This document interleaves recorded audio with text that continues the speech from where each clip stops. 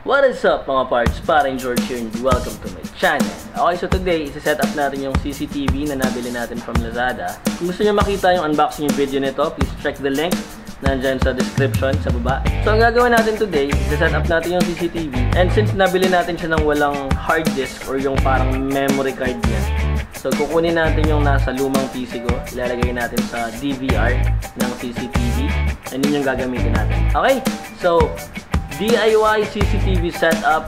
Let's go.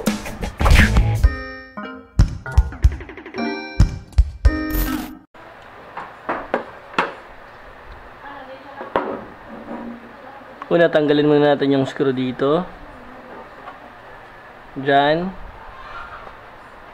Ito. And ito.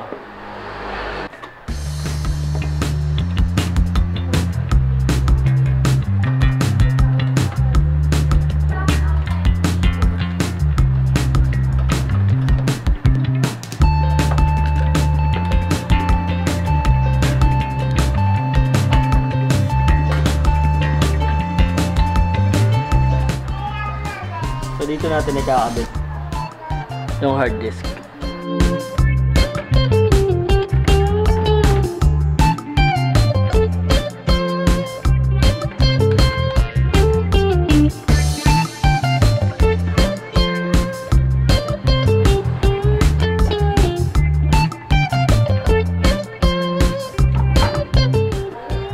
So nandito yung mga ports niya.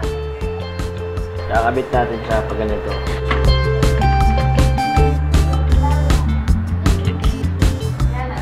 Ito naman yung mga screws para sa hard disk. Kasama na siya sa box ng DVR.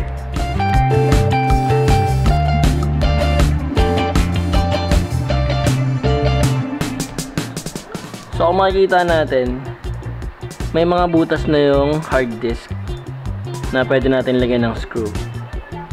Okay, so dito natin siya ilalagay. Isa-center lang natin yung hard disk.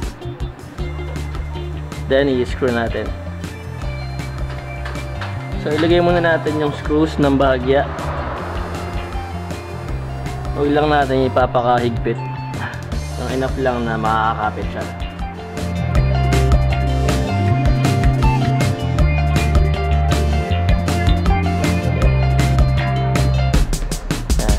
So, may space siya ng konti.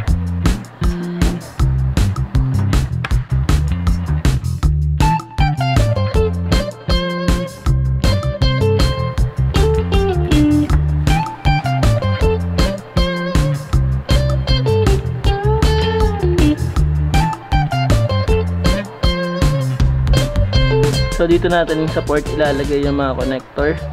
Tapos i-connect natin dito.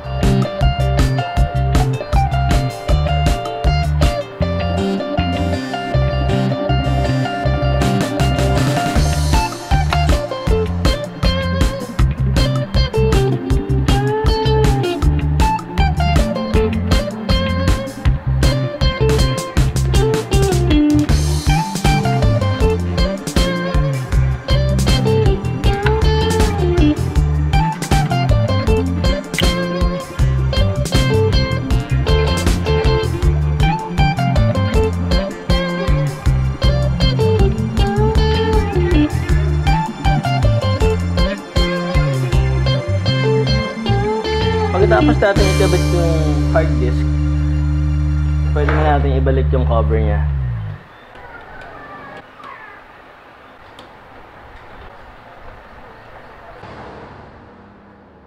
Okay, so ngayon mga parts, i-connect naman natin yung mga connectors niya sa likod.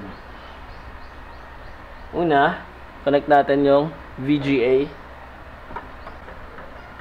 Ito naman yung output niya papunta sa monitor. Kabit naman natin yung power cord dun sa adapter.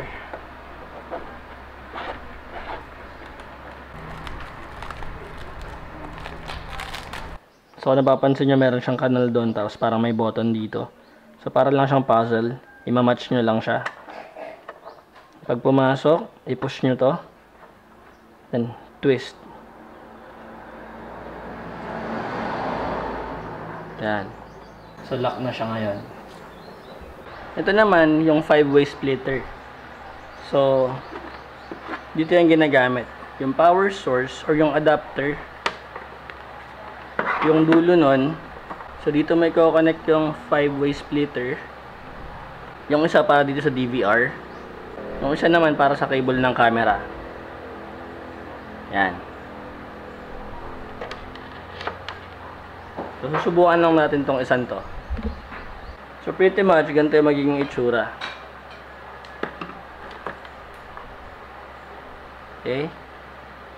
Then, sa dulo, ayan. Doon naman natin i-attach sa camera.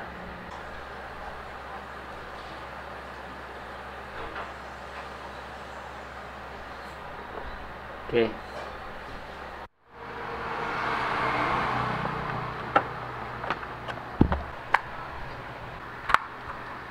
Then, ikabit natin yung mouse.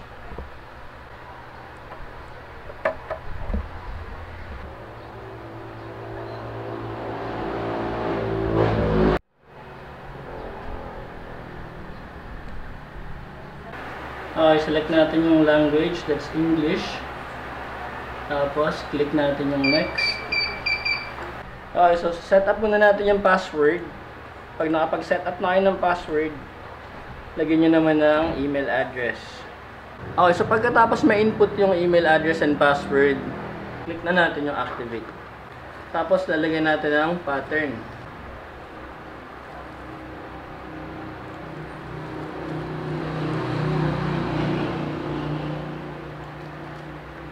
A time zone sa Beijing. Date is April 17. Set your time. Then, click next.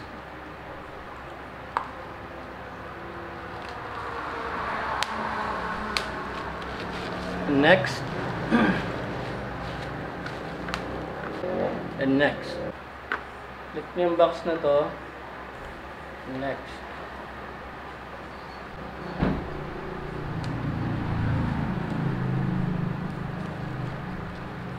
Tapos, initialize mo yung, yung hard drive.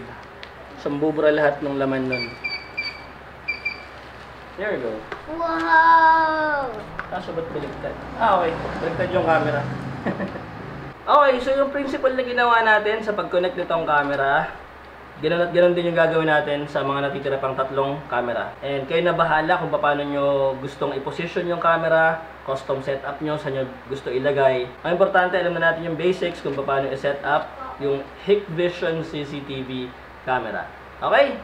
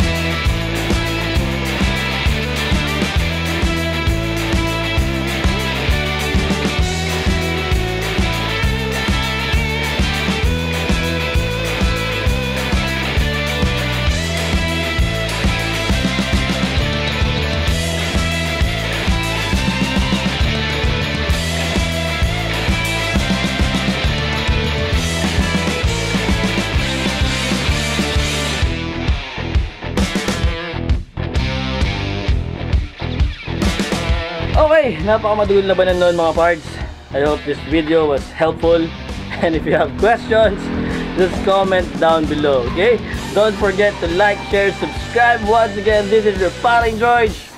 Peace out.